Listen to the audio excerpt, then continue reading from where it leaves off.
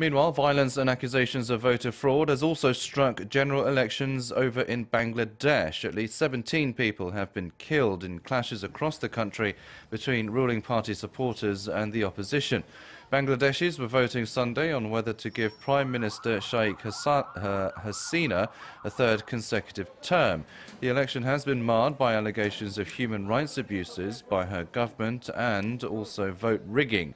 There have been reports of ballot boxes being filled before polls actually opened.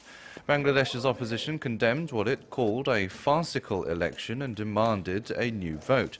The governing party accused the opposition of peddling false claims.